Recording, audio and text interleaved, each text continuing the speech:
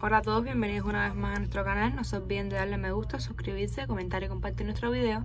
En el día de hoy les estaré mostrando este pendiente de la cara de Jesús, que como pueden ver, tiene dos tipos de oro, oro blanco y oro amarillo. Este pendiente es de 10 quilates y pesa 7 gramos. Como pueden ver, tiene piedras circonias blancas. Y por la parte de atrás no es liso.